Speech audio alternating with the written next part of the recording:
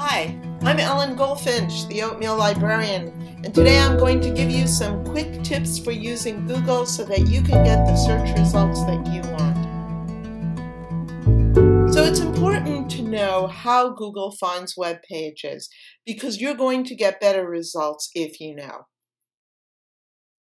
Google uses a software that they call spiders that as soon as you put your web search in, it in a matter of seconds, it goes looking through the internet for those words that you've put in your question.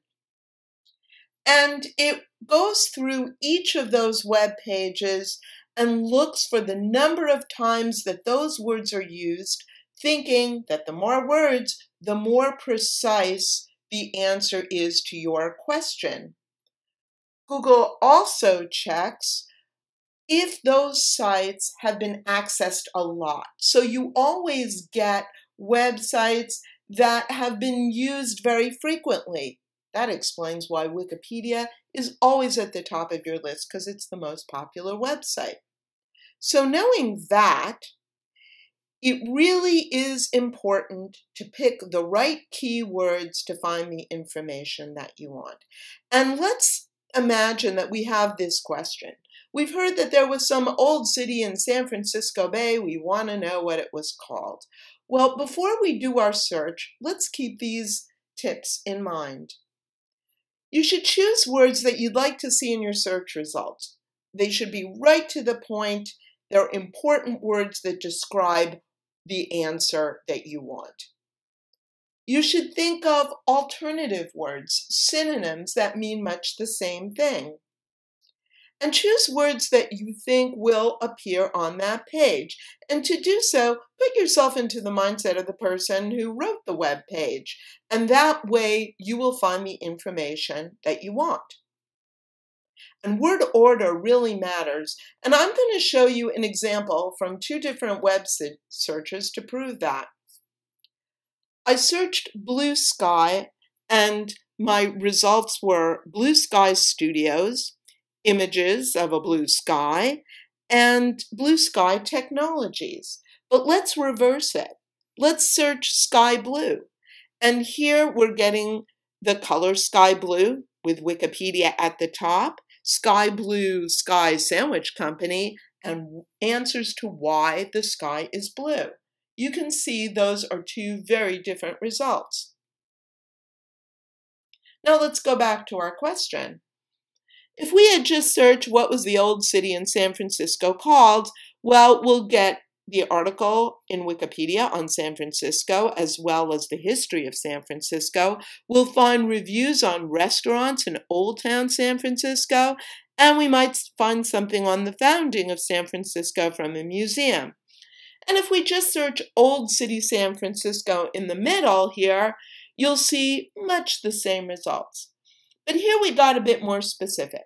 We wrote in Ghost Town, San Francisco. And now we're finding more of the kinds of answers that we want.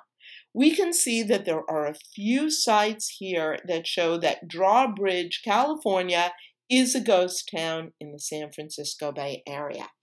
So you can see that our choice of words is very important to the answer that we get. Here's some handy tools that will also help you find more specific research results.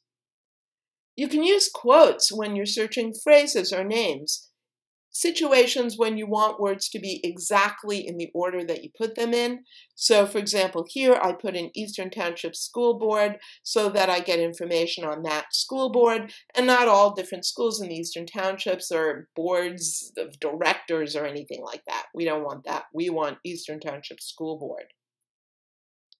Once you have some really good websites, you can look for information within a web page by using either the Control and F key on your Windows computer or the Command F key on Apple computer. You press those two buttons at the same time, and it's like searching within a web page. You're Googling your web page. So, for example, if I wanted to find the word school in a web page, I could either press Control or Command F, and find all the different times that word is used.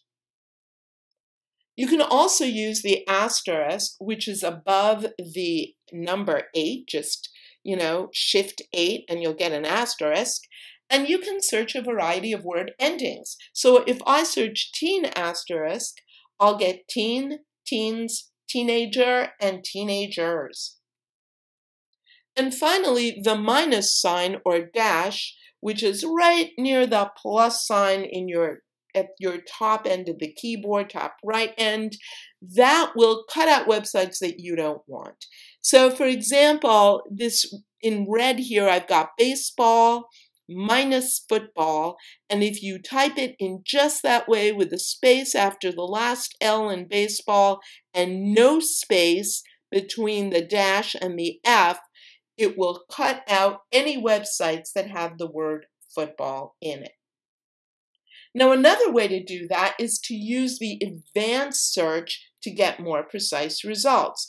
And you can do that, you can find the advanced search by clicking on this little gearbox or flower and uh, it will give you a drop-down memory uh, menu. Rather, you click on advanced search and you get this form. So you can see here, I would search baseball and not football. You can search phrases here. You can search in French if you needed to. And if I just wanted Canadian baseball, I could click here and put Canada. And if I wanted something within the last three months, I could indicate that under last update. It's important to evaluate the websites that you find for the accuracy and the reliability of the information, and you can do that using who, what, when, where, why. So ask yourself who wrote or published the site. Is this person an expert? What is the information provided? Is it biased or opinionated? And is that information the same or different than other sites you found? Can you clearly understand what the author is saying? When was the site published? Has it been updated? Sometimes it's important that the information for you is current. Where did the author get the information from? Are there links or citations? Links to reliable information sources. Why should you use this site as opposed to another information source? Is there another better website or a book? Always be prepared to do another search and this is a good way to compare whether the information on one website is correct by seeing if it's the same as the other websites that you found.